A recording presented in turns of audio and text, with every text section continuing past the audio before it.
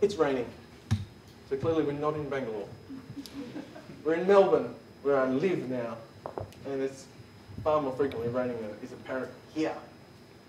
And someone, this diagram says, if it is raining, then I get wet and I consider that undesirable. Does anyone have a problem with that? Are there any assumptions? Very good. Okay, so the diagram, it's, you're able to understand what the person means and challenge the assumption. You did it very naturally. You looked at that and said, I don't think so. That conclusion does not follow. That just because it's raining, I get wet, because I can be in here and looking outside. So, when you challenge the assumption, you uncover more information. So this diagram says, it's still a precondition. I can't stop it raining, but if I take this action that I go outside, and both of those things happen, so if it's raining and I go outside, then I get wet. That's a bit better. Bit better. Any more? There you go. Oh, we're going to go quick. You are kidding. Okay. If it's raining and I go outside and I forgot my umbrella, then I get wet. Okay? You get the idea. Okay?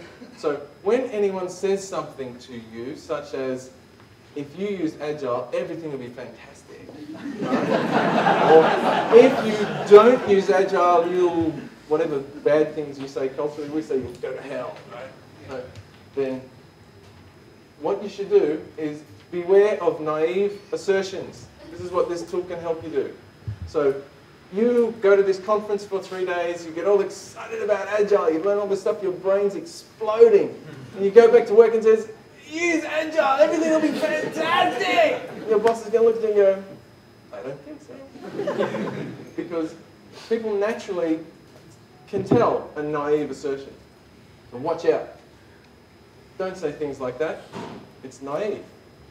The definition of Agile, that's arrogant to say that, one of the things I think is a very important aspect of being agile is to be contextual, to be context specific. Your organisation might can't cannot just go from A to B and suddenly go from not being agile to being agile.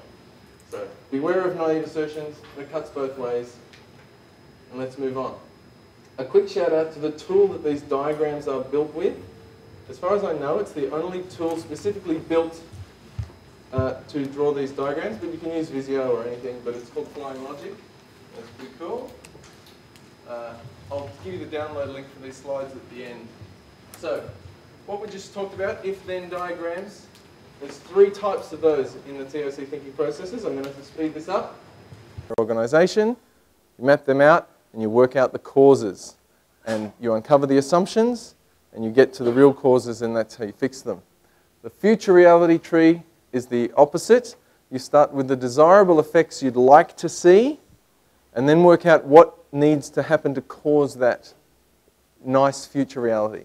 So you represent your current reality with its undesirable effects, you represent the future reality with its desirable effects, and then you create a transition tree to take you from A to B.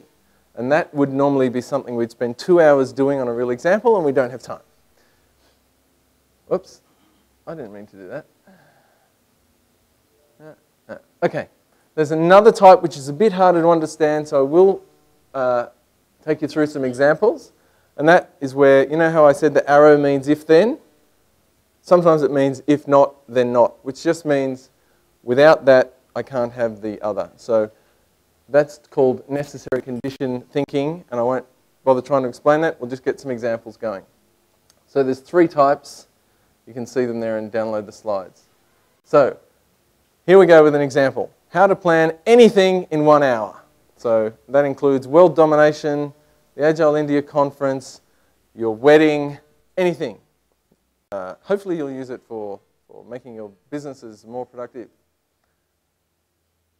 And that is called an intermediate objectives map. It has a very simple for that goal.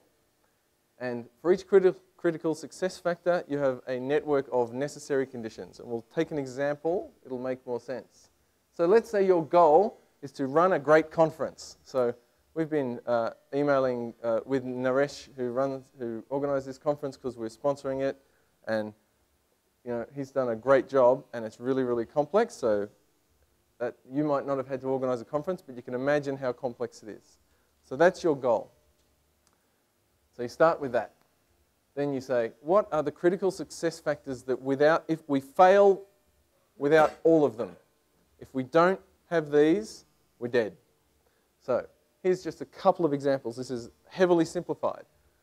But you have to provide a great program, a great, great program of speakers, a great amount of content. You'd probably all agree that for a conference to be successful, it needs to provide a great program. It also needs to provide a great experience for the attendees. Would we all agree? Okay. So that's just, there would be more than that, right? It has to not hemorrhage cash, right? It has to not kill the volunteer committee. You know, there's more, right? But uh, simple example. Then you keep working your way down. Now, uh, so elements of creating a great experience. What are the necessary conditions for that to be true? Again, a simple example. Anything that must be true to have ticked off if provided a great experience. The attendees love the venue. That's something, that's a necessary condition of having a great experience. Would you agree? So this is a great venue. Do we all think it's a great venue? So we're happy. Our experience is good because we this is a great place and food's great, service is great. We love the venue. This one's a bit harder. Attendees know what's going on all, at all times. It's a bit harder, but it's a necessary condition. When you've got 750 people who are all making their own way through the conference and trying to maximize the value, having them know what's going on at all times is a challenge. But there, there are two examples of conditions that are necessary to provide that great experience. You've also got uh, breaking down uh, a great program, providing a great program. What's true of that? Well, there's got to be something for everyone. So you can see in the design of the program for this conference, there's things for the introductory level, expert level, practicing level, on a whole different range of topics, people, leadership, all that vast number of tracks they've got for different levels. So they're, they're clearly demonstrating they want to provide something for everyone and a good mix of uh, local and international speakers. So I think you'd agree that they've done that at this conference, and that's good. So planning this way is the key tip is to plan top down from the goal down, but to execute bottom up. And the question comes up always when do you stop planning? And you stop planning when the things at the bottom look like things you can do, do or delegate. So these, these diagrams get more complex than this, clearly, but they map perfectly well to accountability for outcomes. So you designate someone to construct the great program. You designate someone to provide the great experience. So uh, it, it maps perfectly well. So top-down planning, bottom-up execution, reach any goal, including world domination. Good luck with that. So here's another great thing you can do with the thinking processes, which is resolve any conflict. That's a big claim, isn't it? But it's true. At least it's a technique to allow you to work out how to do it. Whether you can actually get the people to do it, different thing. So it's a type of thinking process called a, a, a, a conflict resolution diagram. Uh, it used to be called an evaporating cloud. Uh, Dr. Goldratt, who invented it, considered what he was doing was making conflict disappear in a, in a puff of smoke. So I'll go through the structure with an example. So this is a semi-real example. Imagine uh, the people who run your company are considering an acquisition. So there's this company, XYZ, and some of the bosses want to buy it, and some of the bosses don't want to buy it. That's a conflict in the theory of constraint sense because it represents two states that cannot both exist. You cannot both buy the company and not buy the company. So that is a conflict. I'm not talking about a conflict where I push him in the pool and he sues me, right? Two states of being that cannot both exist. So somebody has a want to buy the company, someone has a want to not buy the company. So The trick is to work out why they want that. So let's say we do that. And then it's called working out what they actually need. So those who are lobbying to buy that company are wanting to maximize the growth of the business, which is a good thing. Those who want to not buy the company are trying to maintain product focus. That's a good thing too. So, Dr. Goldratt, who invented this, said something startling that I admit I still struggle with, but I haven't disproved it. So it's one of those, I'm still working on common objective. So I'll just pause for a year or two while you process that. You it'll take a while, it'll take a while. Just let it be. You can't have a conflict unless you have a common objective. So, because if you didn't have a common objective, you could just go your separate ways and do your own thing. You wouldn't have a conflict. That's the fundamental reason why. And I keep looking for examples where it's not true and haven't found them. So let's assume it's true for the moment until disproven. So the next step is to work out what the common objective of the people with the conflict is. So in this simple example, they share the common objective to run a successful business. So the people involved in the conflict would probably both agree that running a successful business is a good thing, and you need both to maximize growth and to maintain focus to do that. Both you need both of these to succeed. So we, what we're trying to do is make the conflict disappear without compromising what they need. We will have to compromise what they want.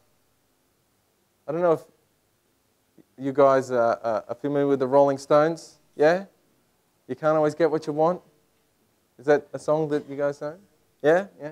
You can't always get what you want, but you might get what you need, which is more important. So, who can think of something that we could do?